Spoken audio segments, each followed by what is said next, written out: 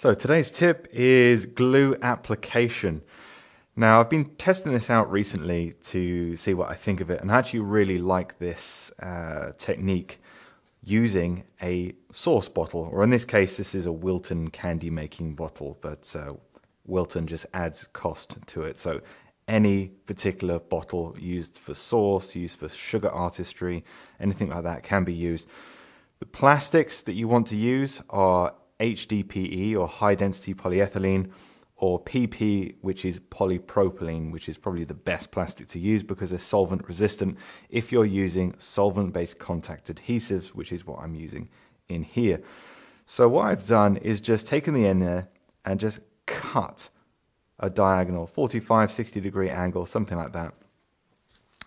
And I can use that to very quickly and simply add a glue line to something. So say I've just skived this piece and I want to add a little bit of glue to it to turn the edge or add it to something else perhaps.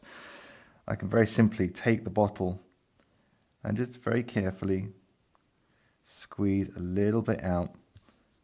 And with a little bit of practice, you might find you're a bit rusty first of all. You can be quite precise with it, which is what I like.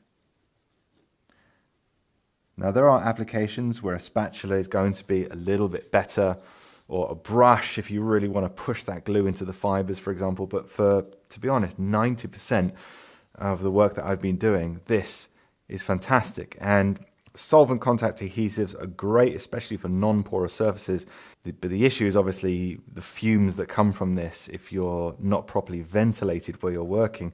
But one of the benefits of this is it's not an open container. It's just the glue that's exposed has solvent evaporating from it. So it reduces the amount of solvents, which also in turn means that this isn't thickening as much over time because not all the solvent is evaporating every time you open and close the lid. It's only a very small hole in the top, so this stays liquid for longer. So this is my tip today. Test it out, see what you think. You can buy these in various sizes. Just remember the plastics I mentioned, HDPE or polypropylene. There are a few other chemical and solvent resistant plastics out there, but those are the most common that you can actually buy these in.